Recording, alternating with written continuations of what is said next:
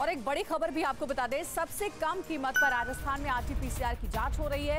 राजस्थान में साढ़े तीन सौ रुपए में होगी आरटीपीसीआर की जाँच। सीएम अशोक गहलोत ने प्राइवेट लैब को भी इस बात के निर्देश दिए हैं कि तीन सौ पचास रुपए से ज़्यादा कोरोना की जाँच के लिए पैसे किसी से ना लिए जाए। आरटीपीसीआर टेस्ट राजस्थान में सबसे कम कीमत पर साढ़े तीन सौ रुपए में होगा। फ़िक्र आपकी, सोमवार से शुक्रवार, रात नौ बजे। सिर्फ़ टीवी 9 भारतवर्ष पर।